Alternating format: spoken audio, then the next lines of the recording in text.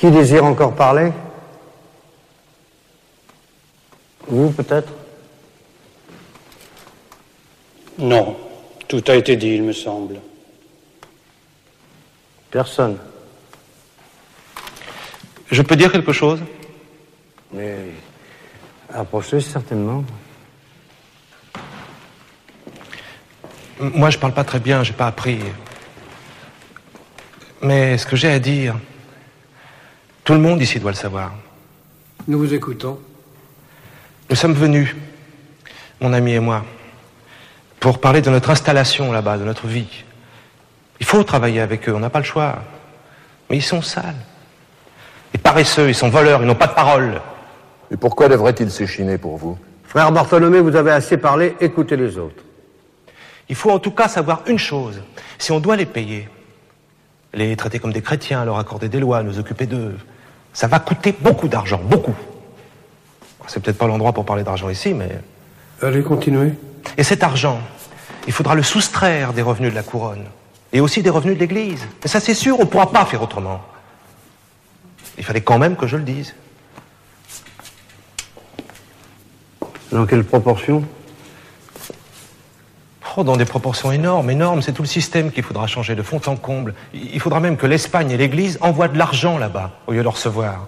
Hein C'est sûr. Beaucoup d'argent.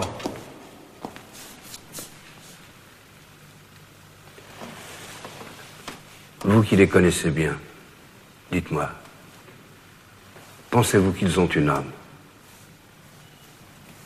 Moi, l'âme, je sais pas. hein.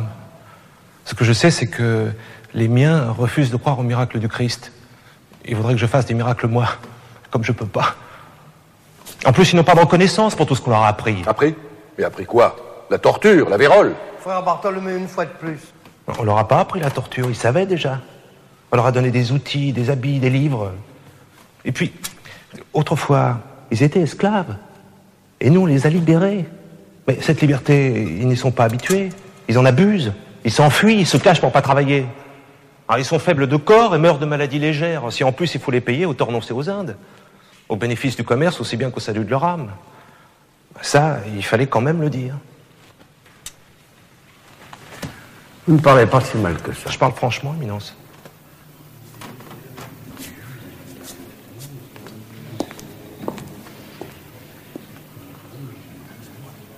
Nous allons nous interrompre ici. Je donnerai ma décision cet après-midi.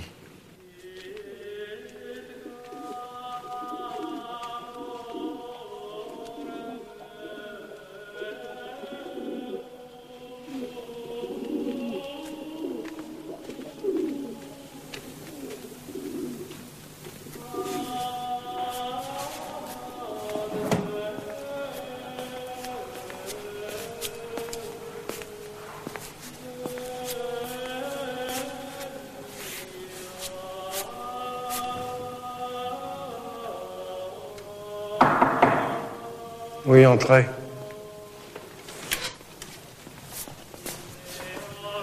Éminence, une lettre du roi.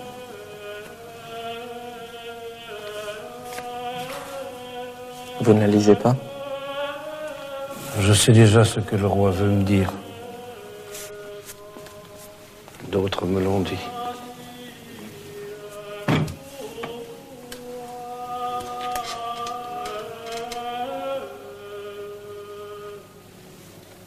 Ma décision est prise. Comme je l'ai dit, elle sera confirmée par sa sainteté et par l'Église tout entière. Les habitants des terres nouvelles, qu'on appelle les Indes, sont bien nés d'Adam et d'Ève comme nous. Ils jouissent comme nous d'un esprit et d'une âme immortelle. Ils ont été rachetés par le sang du Christ. Ils sont par conséquent notre prochain. Ils doivent être traités avec la plus grande humanité et justice, car ils sont des hommes véritables. Cette décision sera rendue publique et proclamée dans toutes les églises de l'Ancien et du Nouveau Monde. Éminence, euh, pardonnez-moi. Bien sûr, je respecte votre choix. Mais avez-vous réellement examiné toute l'importance de ces paroles Me soupçonnez-vous de légèreté Non, à coup sûr. Mais vous devez savoir que vous condamnez à la ruine tous les établissements espagnols.